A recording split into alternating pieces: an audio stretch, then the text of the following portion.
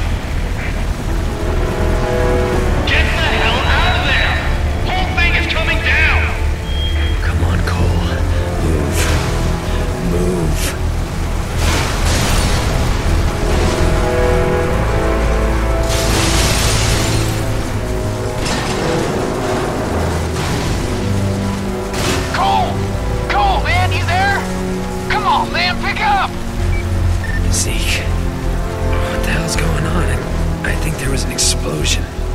No shit, there was an explosion. TV says terrorists are blowing stuff up all over the city. Meet me at the Fremont Bridge.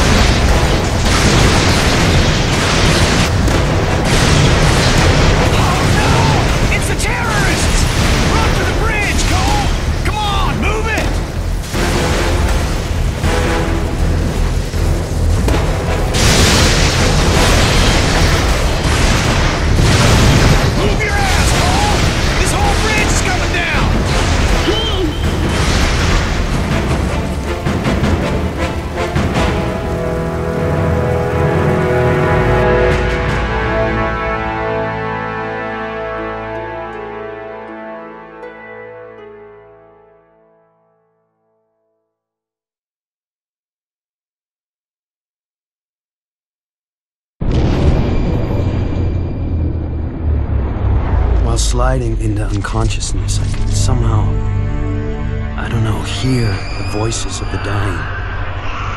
Thousands crushed by falling buildings or burned alive in the fires. Trish lost her sister, almost lost me.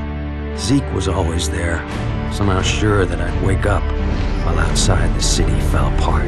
A plague struck, followed by rioting, theft, rapes, civilization committing suicide. In a bullshit attempt to contain the biological threat, the federal government locked down all access in and out of the city. Now we're stuck in this cage with the psychos. Cops are all but gone off the streets, either dead or too chicken shit to stand against the gangs that control things now. Outside, things were bad. But inside, inside me, something was beginning. Scary as hell at first. Gotta understand, there was no one to talk to, no experts to consult. But with time, I'm learning to control it, master it. Just hope it's not too late.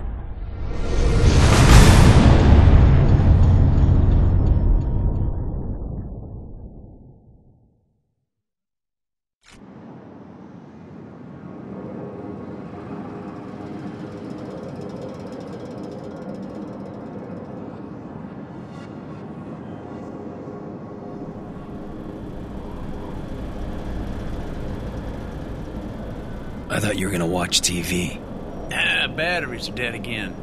Uh, you mind putting on a freak show? Sure. Glad it's good for something. Probably need to charge them all. TV's a hog.